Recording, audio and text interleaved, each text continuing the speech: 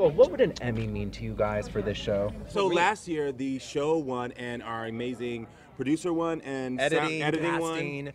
but Um, we didn't. and we were so proud of them. Yeah. I mean, they deserved it. They worked so hard. And this year, we're just honored that we're also being considered as hosts because we worked so hard in each of our five categories that it would mean the world to all of us to get an Emmy. Yes. Like, Yeah, But wow. to even be considered is very nice as well. Yes, although is. A nomination would not be the worst thing in the world, I'm sure. What about season four? We are n- literally not spoilers, and I don't know what we're allowed to say. but there is a Good special answer. in Japan. Is that correct? Yes. Yes. Tell me about that. Uh, four episodes only.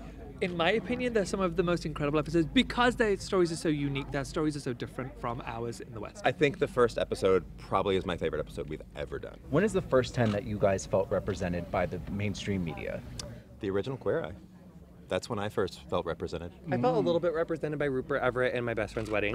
That's a really good Oh my reference. God. And, and, and, and, and Rudy Galindo, Rudy Galindo, 1995 U.S. national champion, honey, very ma- figure Mine skater, was very major. RuPaul when he had his own t- daytime talk show on VH1. classic. I was like that VH1 talk show. I was like, what? Black gay man helping people?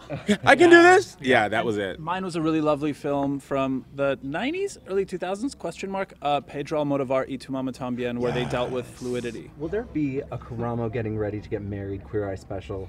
That's a good question, Karamo. Um, uh, no, I don't know. Like, um, it's funny because at first my partner was having anxiety around the wedding, and the more that I'm making it more lavish, I'm having more anxiety and thinking like, do I need to scale back and make this like? No. You are not going to scale back. Never. That train Ever. cannot be long enough. I know. Oh my god, if you serve us up like Priyanka train That's with the like plan. an aerial shot, gonna outdo I, will, I need a I can't outdo drone. them. They have I a need a budget. Who's your, who's your ice sculpture artist? Because I have a great, great, great one for you. I have a few actually. Let me know. I just, what if we all got like a gorgeous, huge white piece of tulle and got like a drone aerial photographer?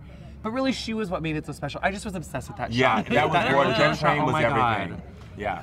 Wow. Sure. So I guess if there's a special, then you just announced it right now. Great. Yeah. I love that. Tan, what did you think when you saw the video of Brie Larson and Oprah talking about your style tips? It blew my mind. I literally screamed in my car. My husband sent it to me. I literally screamed in my car. And I told everyone that would listen, even the Starbucks person. You, you mean when you were parked in a parking lot, not driving? Oh, no, the driver was driving. Oh, Oh. oh it was like on- Tanny we're was- really I'm like, relatable. Tanny was not using his phone while driving. We haven't I was changed going, at I was all. going, I was going to a shoot, and so they prevented Yeah. it. Yeah. Yeah.